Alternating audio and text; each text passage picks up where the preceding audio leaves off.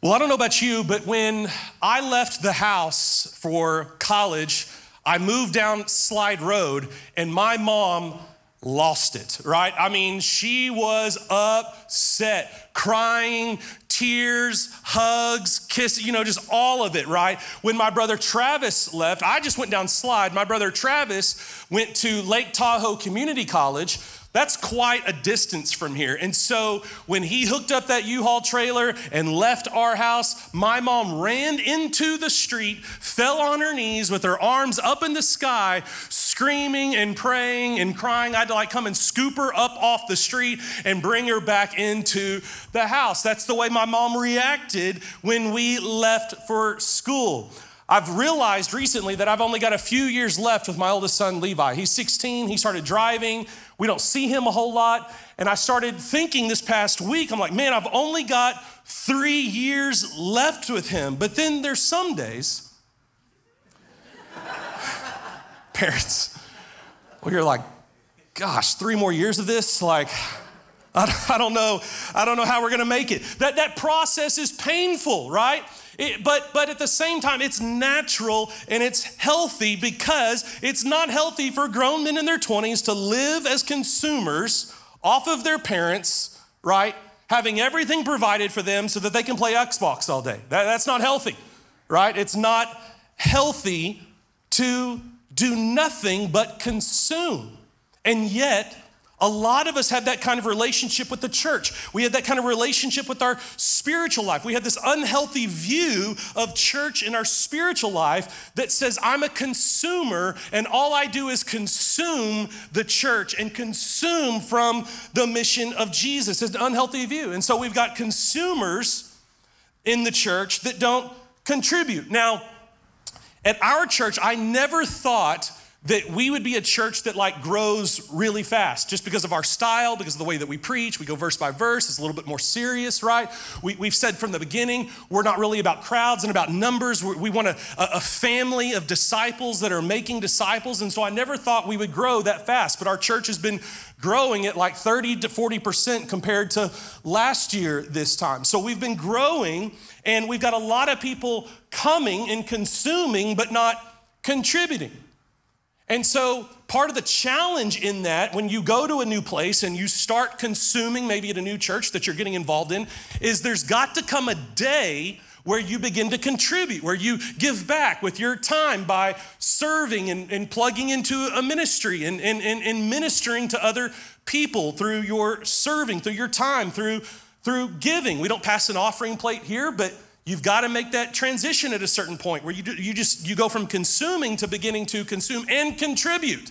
That's a healthy relationship with the church and with your spiritual life. And, and we do the same thing with the mission of Jesus. We consume from people who are investing and giving financially to the mission of Jesus, but we're not contributing to the mission of Jesus. This is an unhealthy relationship with the church and with your spiritual life. And we're going to see today that Jesus is going to take these consumers that have been following him and that he's been spending time, time with, so much time with for the past three years. They've been consuming from him, but Jesus is now going to send them out as contributors to the kingdom of God. They've been consuming from him, but now it's time. He's going back to the Father, he's going to send the Holy Spirit and he's going to empower his disciples who've been consumers to now become contributors. If you got your Bible, turn with me to Luke chapter 24. Luke chapter 24. We are finishing a two year journey through the Gospel of Luke.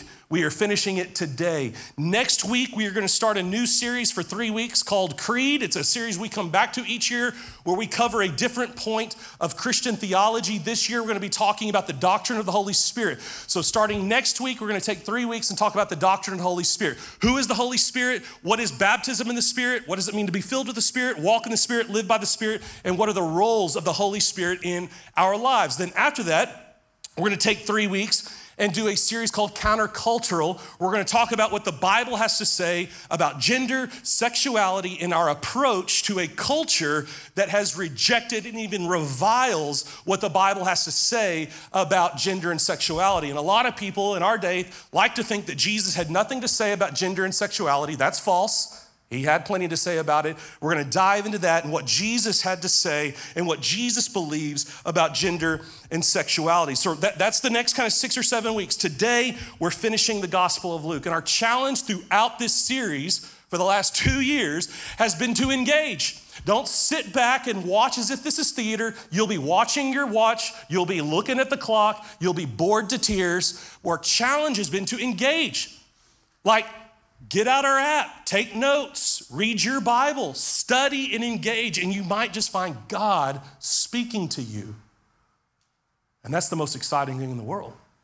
You'll be on the edge of your seat. You'll be in church on the edge of your seat because you're going to hear God speaking to you if you will lean forward and you will engage. And so get out our app. It's called the City Church Lubbock. You can download it in your app store. Go to message notes the verses and the points are there. You can fill in the blank as we go. It's a great way to stay engaged in our time together. We've challenged you to engage in the Gospel of Luke with our city groups, our small group Bible studies. Now's a great time to get plugged into one. Um, if you're new here or you're not in a group, lots of people are getting involved in groups right now. So pull out that connection card in the seat back in front of you, fill it out, check the box that says you're interested in small groups. Uh, we call them city groups here, and Pastor Brandon will be in touch with you. We've challenged you in, to engage in the Gospel of Luke through our daily devotionals. It's a Bible study resource under the Bible study tab on our app. Monday through Friday, we're going to break down these same verses and provide some more prayer points and application points throughout this week. And then finally, we've challenged you to engage in the Gospel of Luke by studying the Gospel of Luke with your family using the Table Talk. The Table Talk is a Bible study resource under the Bible study tab on our app. Your kids right now, our students right now are studying these same verses. And so the table talk allows a family to get around a lunch table or a dinner table and talk about what they learned in the Gospel of Luke or at church today. So engage. Our prayer, that was our challenge. Our prayer in studying the Gospel of Luke for the last two years is that you would get to know Jesus. Not conservative Jesus, not liberal Jesus, but the Jesus of the scriptures, the full counsel of Jesus. And here's what Paul said Here's been our prayer, Philippians chapter 3. Here's what Paul said about getting to know Jesus it's better than anything else. Nothing compares to knowing, following, serving, and worshiping Jesus. Nothing. He said, in Philippians 3, he said, I count everything else a loss compared to the surpassing greatness of knowing Jesus Christ, my Lord. Here's what Paul is saying Jesus is better. Jesus is better than anything you got. Jesus is better than anything you got going on. Jesus is better than anything you're giving yourself to. Jesus is better. And so, our prayer has been in this series that you will get to know Jesus and find him better than anything you've got or than anything you've got going on. So, Jesus in Luke chapter 24, Jesus has died, he's been raised from the dead. Now what? So, Luke chapter 24, starting in verse 27 Emily's going to come and read the scriptures for us this morning. Would you stand in honor of the word of the Lord? And as you stand, I want to remind you about what Jesus said about his word that we are about to read. He said, You will always have my words, my words will never pass away. So we take Jesus at his word. We believe that Jesus is the Son of God. We don't believe Jesus is a liar. Jesus said we would always have his word. So what we have today is the word of the Lord. Emily, would you come and read for us? Hello, I'm Emily Luera. I serve on the prayer and intercessory teams, and my husband Jacob and I also lead a city group. Let's read. It was also written that this message would be proclaimed in the authority of his name to all the nations, beginning in Jerusalem. There is forgiveness of sins for all who repent. You are witnesses of all these things. And now I will send the Holy Spirit, just as my Father promised. But stay here in the city until the Holy Spirit comes and fills you with power from heaven. Then Jesus led them to Bethany, and lifting his hands to heaven, he blessed them. While he was blessing them, he left them and was taken up to heaven. So they worshiped him and then returned to Jerusalem filled with great joy. And they spent all of their time in the temple praising God. Thank you, Emily. You may be seated. So Jesus rises from the grave. He starts appearing to his apostles, to his followers. In Acts chapter 1, which kind of mirrors the end of Luke 24. Both are written by Luke. In Acts chapter 1, it says, For 40 days, Jesus appeared to his disciples. He hung out with them, he ate with them, he, he, he spoke with them. So, so these aren't just one time experiences that the disciples have where they see the risen Jesus. They see Jesus risen from the grave, hang out with him, talk with him, touch him. Acts 1 says, For 40 days. They saw Jesus and hung out with Jesus and talked with Jesus and, and, and, ate with Jesus. So now, what we're reading here in Luke 24 is 40 days after Jesus has risen from the grave. 40 days later, Acts chapter 1 says, Jesus' time on earth has come to an end. And what we're reading today in Luke 24, at the very end of Luke 24, the last few verses in the Gospel of Luke, are the two final chapters of Jesus' time here on earth. The two final chapters. Here's the first one. Number one, Jesus sins.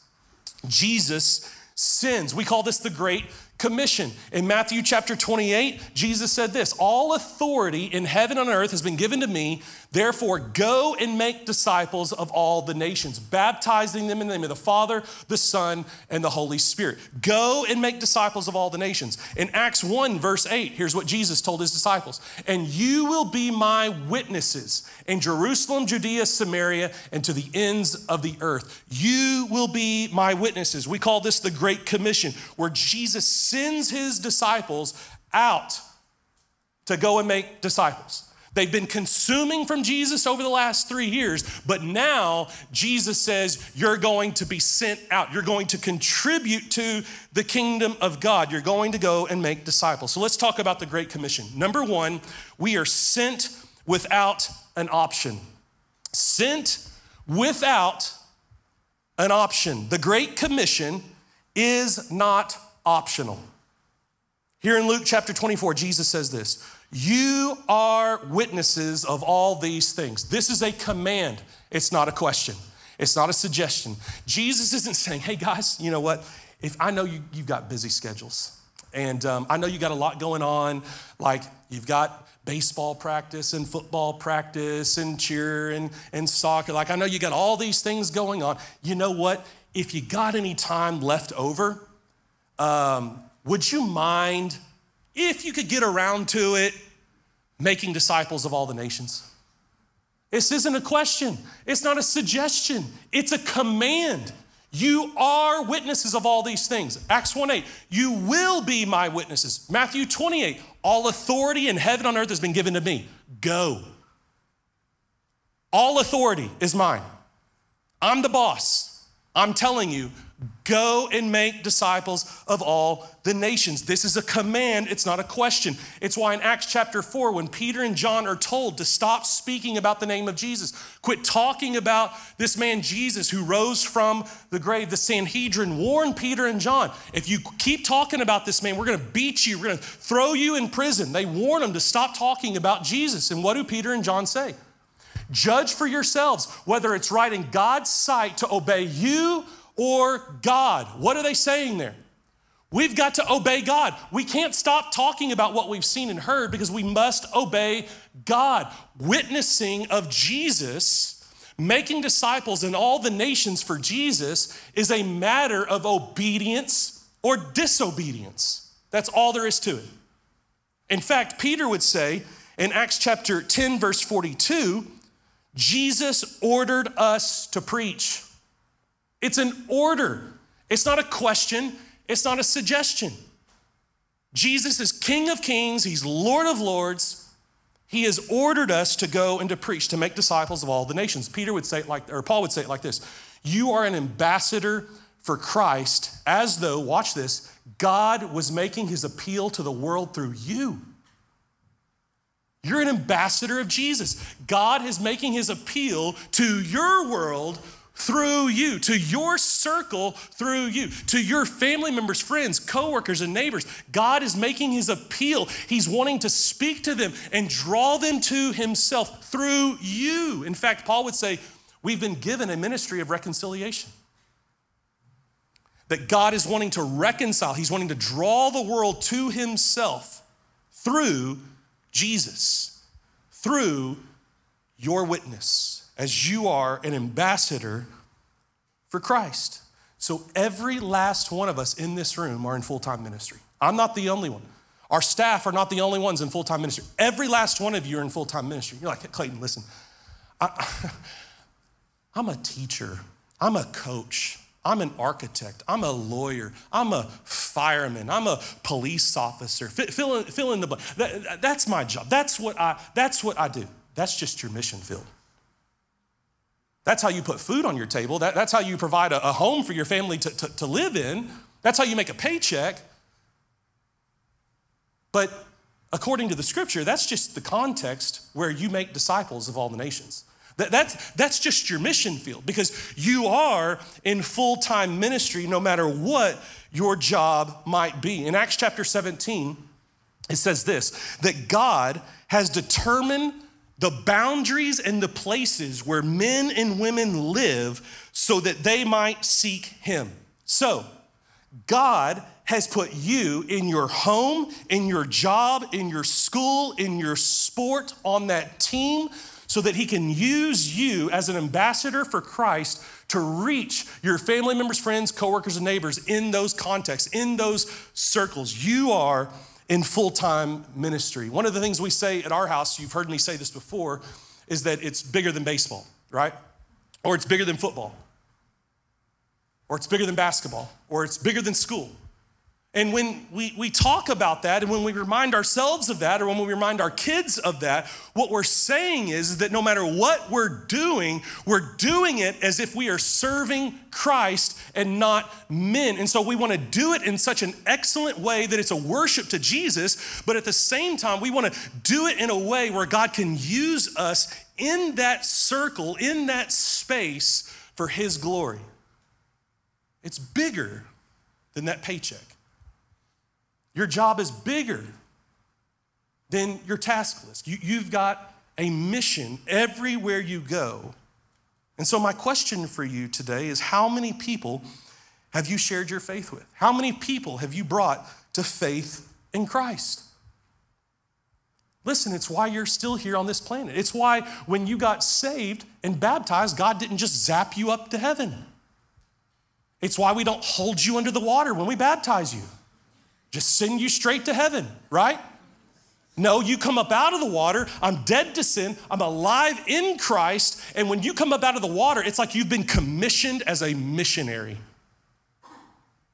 ordained as an ambassador for Christ because God is making his appeal to the world through you. And here's what happens when Christians want to stay home live at home and just consume and play Xbox all day, right? Here's what happens Acts 8 1. In Acts 1 8, Jesus sends his disciples to go and make disciples of all the nations. You will be my witnesses in Jerusalem, Judea, Samaria, and to the ends of the earth. I have a friend in India, he's a pastor, he's a church planner, and he says this If you don't do Acts 1 8, then Acts 8 1 happens to you. Do you know what happens in Acts 8 1? It says that God allows a persecution to come against his church in Jerusalem. You will be my witnesses in Jerusalem, Judea, Samaria, and to the ends of the earth. They're staying in Jerusalem. They're staying home. They're, they're consuming. We're playing Xbox. God allows this persecution to break out in Acts 8, verse 1. And it says this in Acts 8, verse 4. And so the believers scattered and they preached the gospel everywhere they went. They went to Judea, they went to Samaria, they ended up going to the ends of the earth. If you don't do Acts 1 8, God lets Acts 8 1 happen to you because it's not a suggestion, it's not a question, it's a command. It's a matter of obedience or disobedience. God told Abraham, Abraham, I'm blessing you so that you might be a blessing to all the nations.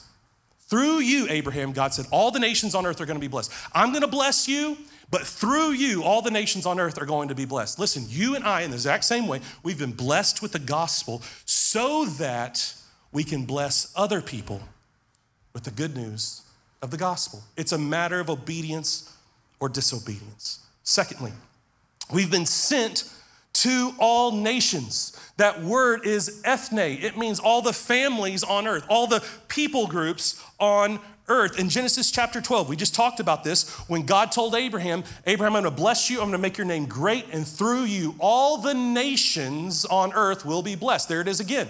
In the very beginning, all the nations on earth will be blessed through you. This is all the people groups on earth. And Jesus says we are to go to all the people groups on earth Jerusalem, Judea, Samaria, and to the ends of the earth, to all the people groups on earth telling people the great news of the gospel. The gospel must go to all nations because Jesus is Lord of all the nations. In Revelation chapter 7, we get this vision, this picture of heaven that John sees. And it says this in Revelation chapter 7 that there will be a people from every tribe, from every language before the Lamb of God one day worshiping Jesus a people from every tribe, from every language. Heaven will be a multicultural people worshiping a perfect Savior together forever. That's what God is doing. You're like, what is, what is God's will? What, is he, what does He want for my life? Uh, he wants you to go and make disciples of all the nations. That's what he wants. That's his will. That's what he's doing. And that's what he's bringing about. In Revelation 7, a people from every tribe and language worshiping the Lamb of God, that is Jesus. Towards the end of Acts, one of the Roman governors says about the church that they are turning the world upside down. The gospel was spreading, disciples are making disciples, churches are being started and planted and multiplying. They're, they're, the gospel spreading throughout Rome so much and so fast because every believer is a missionary and every believer is in full time ministry. It starts spreading and multiplying so fast that a leader in Rome says, These guys, these Christians, are turning the world upside down. How cool is that? That as we go and are obedient to preaching the gospel, the world could be turned upside down. We are sent to all nations. Next, we are sent with a message. We're sent with a message. We saw this last week. Jesus said that the message is that he died and rose again. And then here, here's what he says in Luke chapter 24 that here's the message that there is forgiveness for those who repent forgiveness of sins for those who repent. In other words, there is no forgiveness of sins for those who don't repent. There's forgiveness of sins for those who repent. To repent means I'm heading this way, I'm living this way, I'm doing things my way. I come to understand the gospel and I repent. I turn from my old way of thinking and from my old way of living. I put my faith in Jesus and I begin to walk with him and I begin to follow him. That's repentance. It's a turning around and going in another direction, not the direction I was headed. I'm going in this new direction. That's repentance. And Jesus says there is no forgiveness of sins without repentance. In other words, the great news of the gospel that Jesus died on the cross to forgive our sins and that he rose from the grave, conquering sin and death, is only available to those who by faith trust in Jesus and give their lives to Jesus. In other words, the reason Jesus is sending us to all nations is that they might hear there is only forgiveness of sins found in Jesus' name. If, if everyone was saved because of what Jesus did, then we wouldn't have to go to all the nations and tell them. But because there is only forgiveness of sins for those who repent, we must go, we must be witnesses and tell people about the great news of the gospel. But here's what this also means that just because you prayed a prayer or checked a card means nothing. Oh, Clayton, I, I, I recited the sinner's prayer. That prayer is not anywhere in the Bible. You can't find that prayer. We're, we we don't believe in witchcraft, which means you just say some incantation and all of a sudden it means something's true. Jesus said, There's no forgiveness of sins unless you turn from your sin and you give your life to Jesus, meaning that your life should look different. It should look a whole lot different. That when you meet Jesus, there's a transformation that happens. And God says in the new covenant, which is what we are under now, that when you give your life to Jesus, you receive the Holy Spirit of God living inside of you, and it gives you a hatred for sin and a love for holiness and righteousness. So there's a change that happens. I'm headed this way, I'm living this way, I'm walking in my sin and unbelief. I understand, I believe the gospel, I turn, I begin to follow Jesus. God puts His Spirit in me that gives me a hatred for my sin and for my old way of living, and a love and a passion for holiness and righteousness. There's a drastic transformation and change there. And if there hasn't been that transformation, transformation and change in your life where you've turned from your sin and you now follow Jesus, it doesn't mean you don't screw up. It doesn't mean you don't stumble, but there's not this passion to know Jesus and repent of sin and walk in holiness. If there hasn't been that kind of change, or there's not that kind of passion in your life, then you're probably just playing a game and you've deceived yourself into thinking you're something you're not. You think because you prayed a prayer or check a card that makes you right with God. It doesn't. There's forgiveness of sins for those who repent in Jesus' name. Peter said this in Acts 4, verse 12 There is no other name under heaven given to men by which we can be saved. No other name except Jesus. So it's not doing better, it's not trying harder from this day forward. No, it's repenting of your sin and trusting in Jesus for the forgiveness of your sin, giving your life to Him. And there's this transformation that happens. We talked about this last week. There's a regeneration that happens by the power of God. Uh, it, it's a miracle, God, where you are born again spiritually with the Holy Spirit living inside of you, giving you a passion for Jesus. We're sent with a message, and that message is that there is life in Jesus' name. But as Jesus would say, if you reject the Son, then you have no life. There is no life outside of the name of Jesus. Next, we are sent in spite of the cost. We are sent in spite of the cost. Jesus said, You will be my witnesses in Luke chapter 24, uh, in, in, Acts 1 8. You will be my witnesses. Witnesses comes from the Greek word martyrs. It's where we get the word martyr. And so, what Jesus is telling his disciples when he tells them, You're going to be my witnesses, Here's what he's saying You're going to be a public witness of me. You're going to testify about me publicly in spite of the cost. That's what it means to be a witness. That whatever the cost, whatever the sacrifice, I'm going to be a witness for Jesus, even if it costs me my life. Now, today in our country, the cost for being a witness could be rejection. It could be humiliation. It could be a relationship. Jesus said, They hated me. If you follow me, they're going to hate you too. Now, we don't want to be hated because we're jerks or because we get in arguments on social media or throw truth grenades on social media at people. If we're hated for being jerks, then we need to repent of that sin. But Jesus said, if you follow me, if you love me, if you believe what I believe, and you're a witness of Jesus, they're, they're going to hate you. And we're seeing in our country a growing rejection and reviling of Christians and of what we believe. And I believe it's going to get more and more costly to be a Christian in our country to be a follower of Jesus in our country. It's going to get more and more costly. It's going to cost us more than just relationships, it's going to cost us more than popularity. It's going to get costly. And for some of us, we have lost relationships because we've been a witness for Jesus.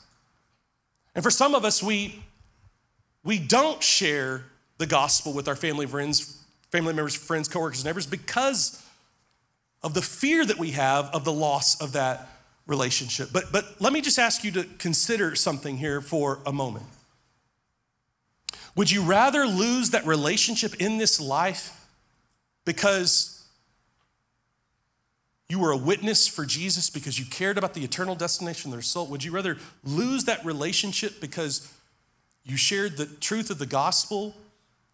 Or would you rather lose that person eternity in hell forever?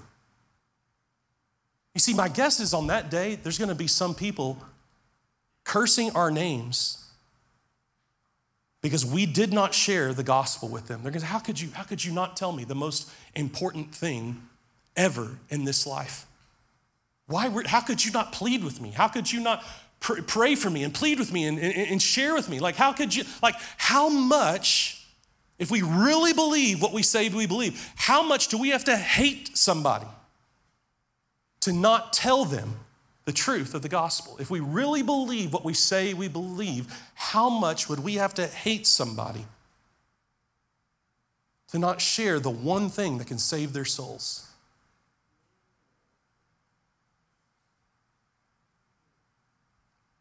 We are sent in spite of the cost.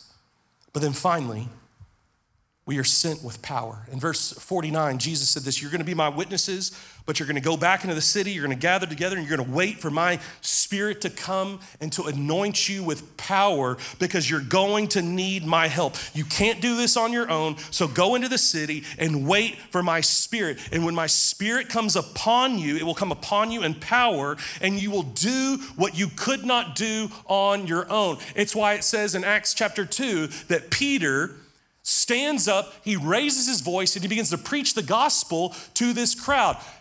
Not long before that, he's hiding in fear and denying Jesus. What's changed? Well, he's been filled with this power. It's why it says in Acts 2 that Peter, filled with the Holy Spirit now, stands up, raises his voice, and addresses the crowd. We can't do what Jesus is telling us to do without the power of the Holy Spirit. It's the Holy Spirit's work to convict and convert. And what Jesus said is when you open your mouth for me, when you open your mouth and you begin to tell your story, share your faith, talk about Jesus, my spirit will give you the words to say. So we open our mouths and Jesus gives us the words to say, but then we're promised that the Holy Spirit then will go to work to convict people of their sin and to convert their souls. So we open our mouths and the Holy Spirit will do the work. It's my hope week in and week out. You know, how many times I'm coming to this place or before a service and just overwhelmed with this burden, this grief that, that nobody is going to care about what we're talking about. That's the, that's the temptation. That's what the, the, the devil's trying to tell me on my way here every morning before every service. Nobody cares, Clayton. You're wasting your time.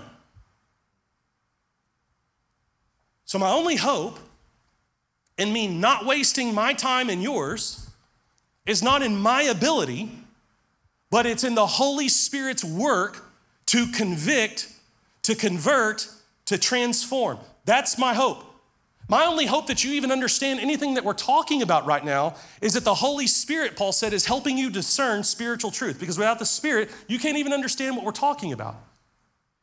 So it's our job to open our mouths. It's the Holy Spirit that comes and works and convicts and converts and transforms formed. We need the power of the Holy Spirit because Paul said there is a veil that the God of this age, that's the devil, has put over the minds of unbelievers. So they cannot see the beauty of the gospel. They can't see the beauty of the cross. And so we need God to come in the power of the Holy Spirit and remove that veil. And so we preach, we open our mouths, and we pray for God to do something in your heart, in my heart, in our friends' hearts, in our family members' hearts, our coworkers' hearts, our neighbors. We, we preach and we pray for the Holy Spirit to come and to do what we cannot do. We are sent with power from the Holy Spirit. Now, this isn't an arrogant power, it's not a domineering kind of power. No, it's like what pastor and theologian D.T. Niles said evangelism, being a witness, is just one beggar telling another beggar where the bread is. the spirit that we receive, it's a spirit of humility. There's passion there, there's urgency, there's boldness, there's courage, but, but it's done with humility and kindness and respect. Peter said this in 1 Peter 3, verses 15 and 16 that we share the gospel, we preach the gospel with gentleness and respect, not arrogantly, not like a jerk, but with gentleness and respect. Just one beggar telling another beggar where the bread is. One of the passengers on board the Titanic was a pastor from Scotland named John Harper. Well, when the Titanic struck the iceberg, John wrapped his six year old daughter in a blanket and put her in a lifeboat and told her that he would see her again one day. He then began to go around the ship shouting, Women, children, and the unsaved into lifeboats. Believers were ready to die, unbelievers were not ready to die. So, women, children, and unbelievers into the lifeboats. As he went around the decks, people said he was preaching for people to turn to Christ and to be saved. And as the ship began to sink, he jumped in the freezing water and began to swim to everyone he could reach, pleading with them to turn to Christ and be saved. John then sank in the freezing water at age 39. Four years later, at a church meeting in Canada, a young Scotsman Aguila Webb stood up at a church meeting in Canada and he gave this testimony. I am a survivor of the Titanic. When I was drifting alone on some wreckage that night, Mr. John Harper swam over to me and asked me if I was saved. I said no. He replied, Believe on the Lord Jesus and you will be saved. He swam away to go and ask other people that same question Are you saved? He came back a little later to me he said, Are you saved now? He said, No, sir, I'm not. He said again, Believe on the Lord Jesus and you will be saved.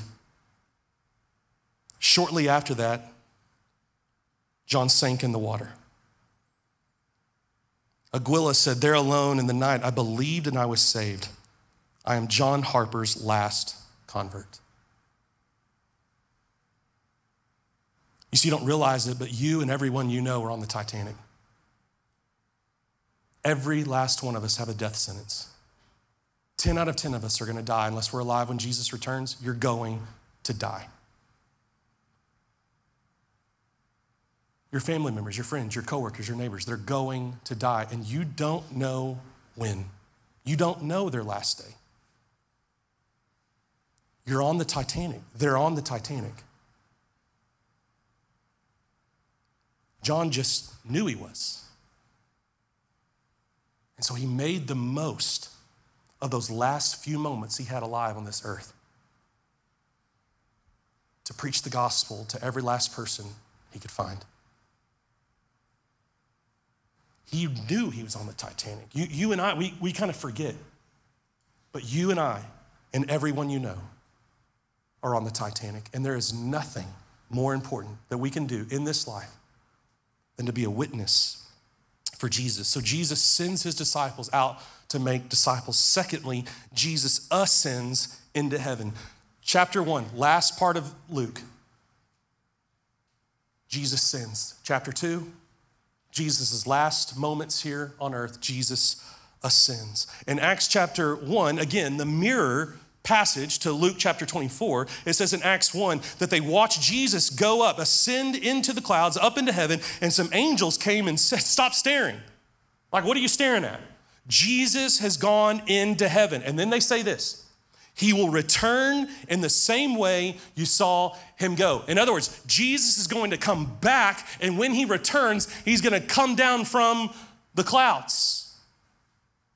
And his kingdom will come, and he will reign on earth as it is in heaven.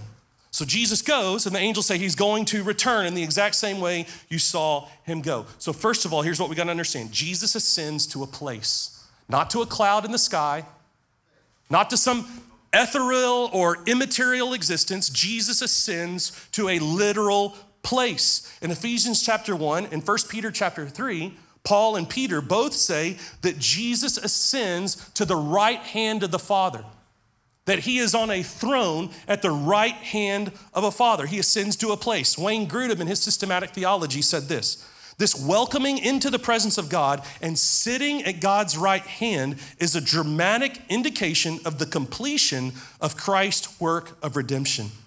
Just as a human being will sit down at the completion of a large task to enjoy the satisfaction of having accomplished it, so Jesus sat at the right hand of God, visibly demonstrating that his work of redemption was completed.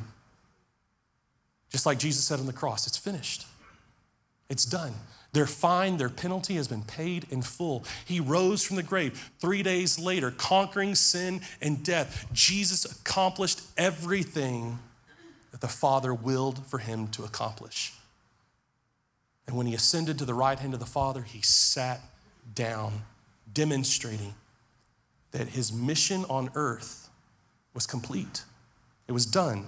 It's finished. Jesus ascended to a place to the right hand of the Father. Secondly, Jesus ascends to reign, to reign as King of Kings and Lord of Lords. The act of sitting at God's right hand is an indication that he received authority over the universe. As Paul said in Ephesians 1, God raised him from the dead and made him sit at his right hand in the heavenly places, far above all rule and authority and power and dominion, and above every name that is named. He ascended to the right hand of the Father and he reigns as King of Kings and Lord of Lords. 1 Peter 3.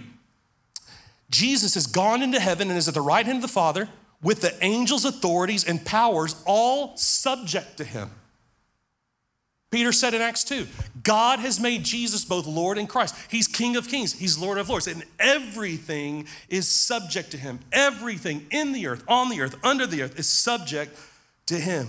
Paul said in 1 Corinthians 15, quoting from Psalm chapter 110, that Christ must reign until he has put all his enemies under his feet.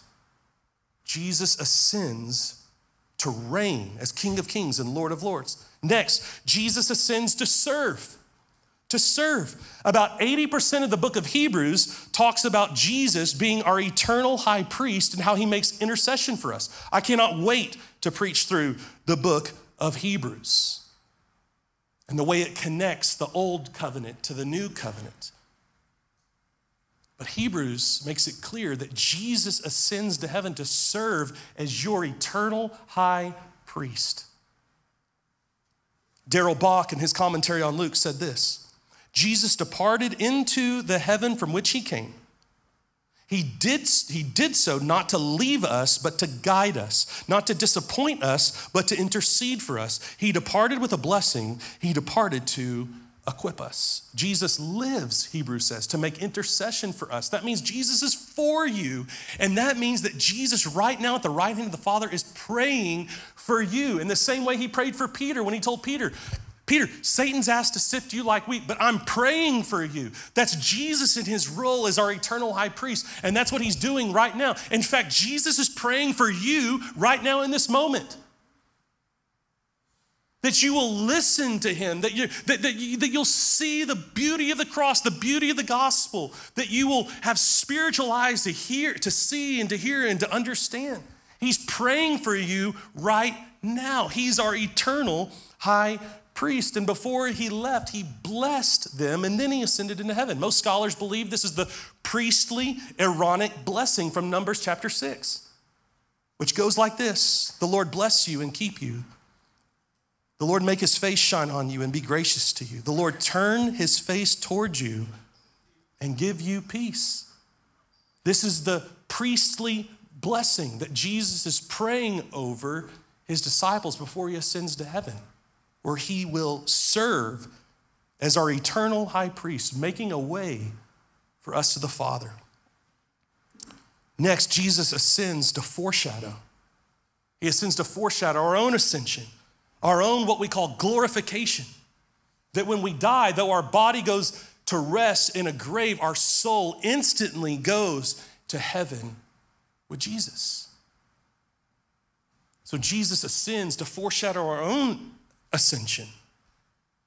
As Jesus would say in John chapter 14, I've gone to prepare a place for you so that where I am, you may be also. And when I go and prepare this place for you, Jesus said, I will come again and I will take you to myself, that where I am, you may be also. So whether you die and go to heaven to be with Jesus or you're alive when Jesus returns, that process is called glorification.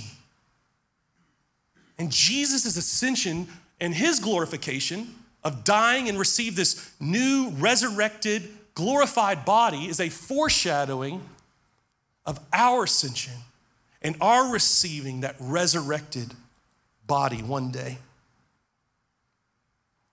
Christ ascends to foreshadow our own ascension. And then finally, Jesus ascends, ascends in order to return. In Acts chapter 1, Jesus, the disciples, or the, the, angels rather, when Jesus ascends to heaven, the angels tell his disciples, hey, quit looking up into heaven. Jesus has gone into heaven and he will return in the exact same way you saw him go. And his kingdom, remember, he's reigning. He's reigning on that throne. His kingdom will come to earth and he will reign on earth just like he reigns in heaven one day. His kingdom will come and his will will be done on earth as it is in heaven when Jesus returns. So the disciples have been consuming all of these things from, from Jesus over their three years together, right? And we learned last week this is what a Christian believes. And this is what the disciples have been consuming. Number one, the incarnation, that Jesus is God in a bod. He's the Word who became flesh, as Paul would say. All the fullness of deity dwells in Jesus in bodily form. Secondly, they've learned about and consumed propitiation, which is just a big word that means the sacrifice that takes away the wrath of God. That in the crucifixion, Jesus' death satisfies the wrath of God for your sin and my sin when we give our lives to Him. They've seen and consumed resurrection, that Jesus is raised to life for our justification, and that in the resurrection, Jesus conquers sin and death. He proves himself to be the Son of God. And he says, I'm the resurrection of life. Whoever believes in me, even though they die, will live. Next, we've seen regeneration. That you must be personally born again, that it's not enough just to believe some intellectual facts about Jesus. Even the demons believe. But you must be, as Jesus would say, born again. That these things didn't just happen, but the understanding that I need Jesus. I need the cross.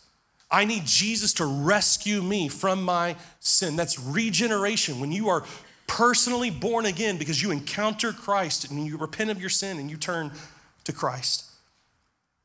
Next, we've seen commission that Jesus sends his disciples to be disciple makers and witnesses in all the nations. We've now seen, as his disciples did, ascension, that Jesus ascends to heaven to reign as King of kings and Lord of lords and serve as our eternal high priest. We've seen glorification, that as Jesus died and came back to life and ascends to heaven, he receives this new glorified body. And Jesus says, Where he is, we will be with him and one day receive a resurrection body just like Jesus. And then finally, we see revelation Jesus says, I'm coming back. And so the disciples have been consuming all of this, just like you and I through our study of the gospel, we've been consuming all of this. But now the disciples, they've been consuming, and Jesus sends them out and ascends into heaven, and we see their reaction in verse 52 and verse 53. It says, They returned to Jerusalem with great joy. And it says this they spent all their time at the temple praising God.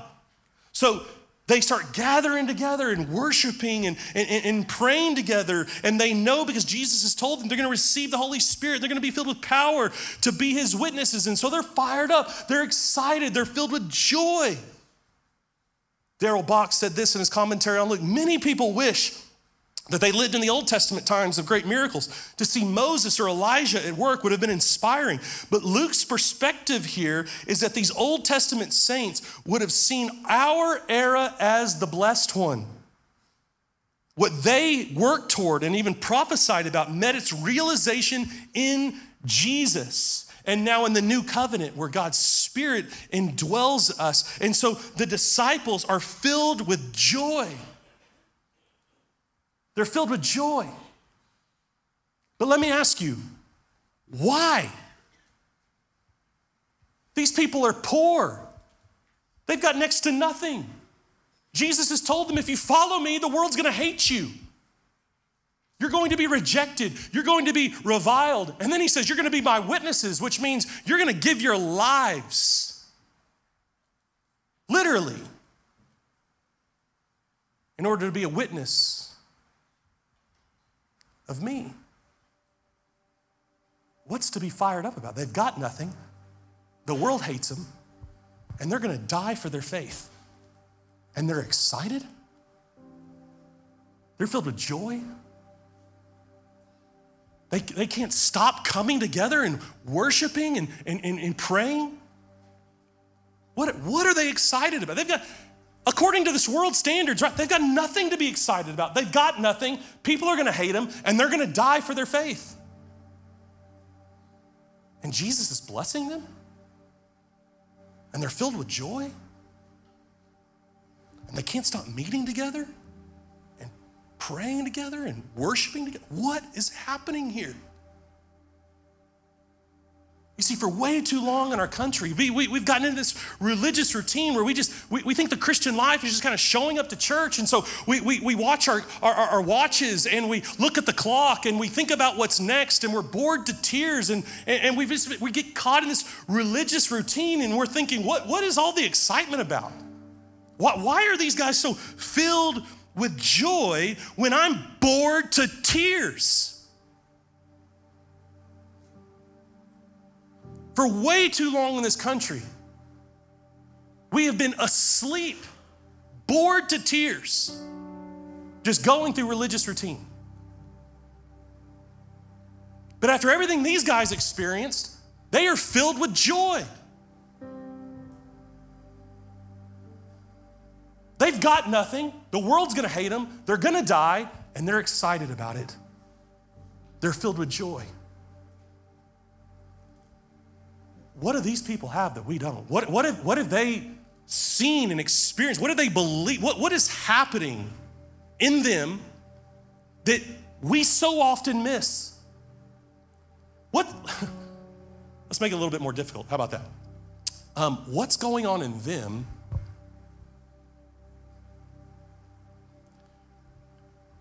where their suffering and their discomfort leads them to gather together more. When our suffering or our discomfort pushes us away. I don't get what I want. I don't get what I, what I want when I want it. It's not how I wanted it. So God must not love me.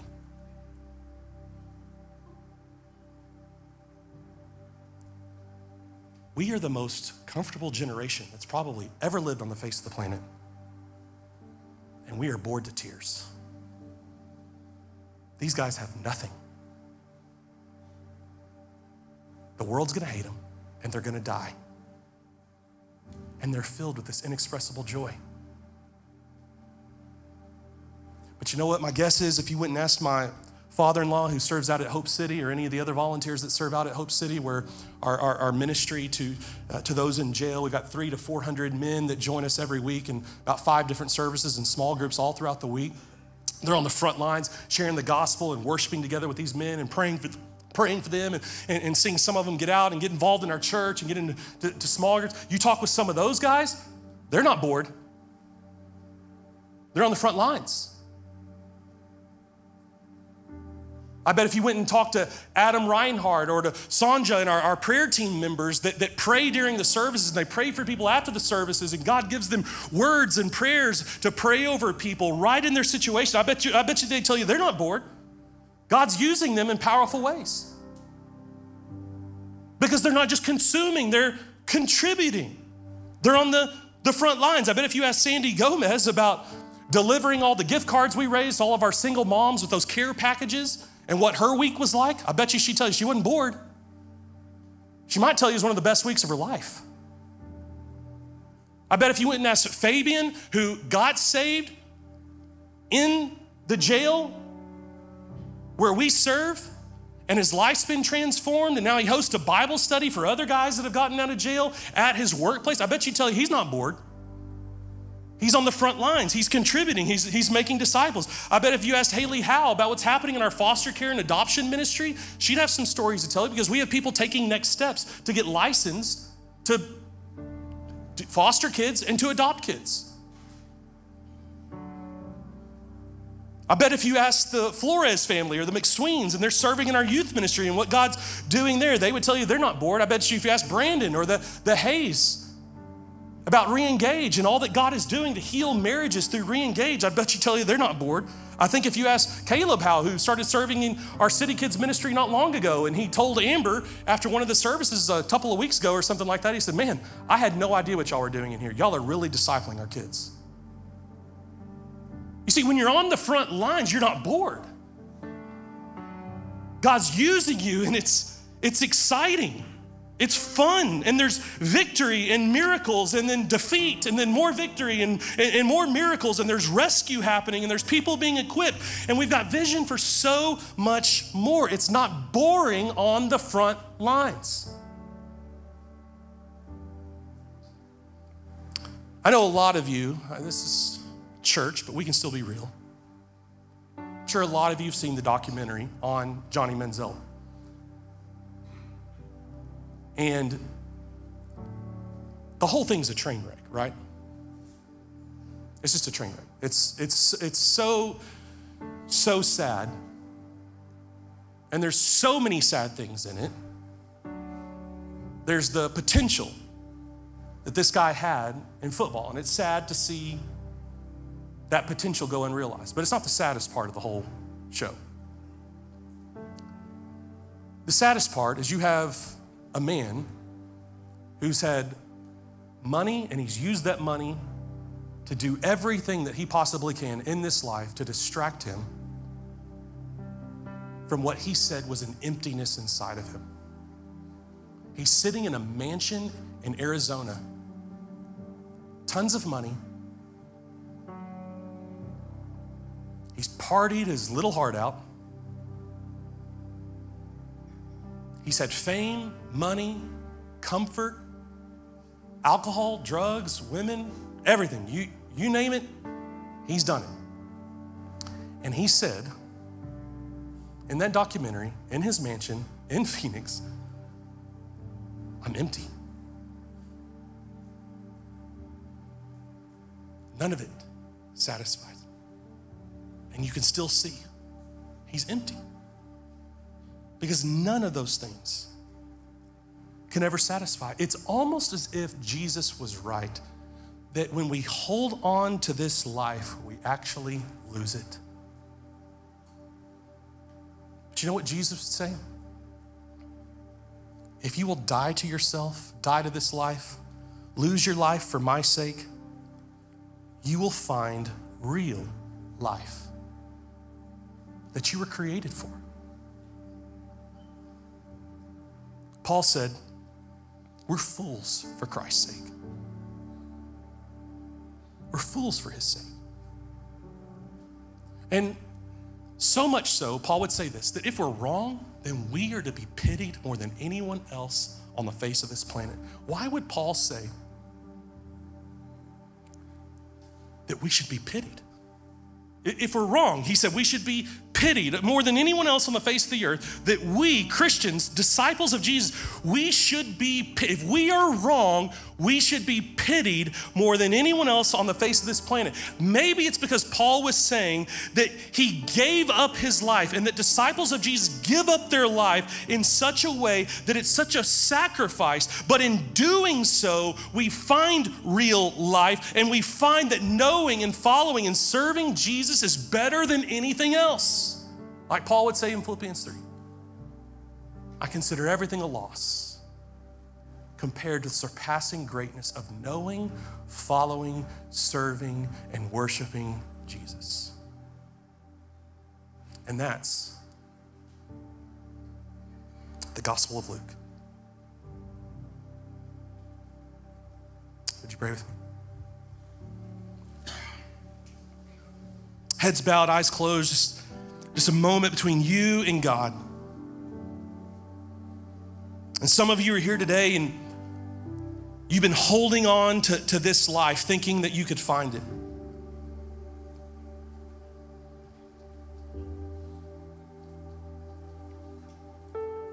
But hear Jesus telling you today if you will give up this life for my sake, you'll find it. You'll find real life. You'll, you, will you will find this joy that these early Christians, this early church experienced that, that even having nothing and the world hating them and, and, and death awaiting them, that they were filled with joy. That could be yours.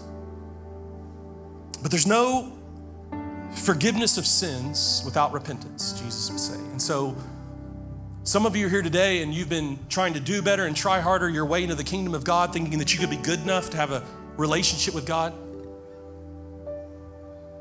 And the scripture says, good people don't go to heaven, forgiven people do. Salvation is not a reward for the good things that we've done. You can't do better and try harder your way into the kingdom of God. You must be forgiven of your sins by your faith in Jesus.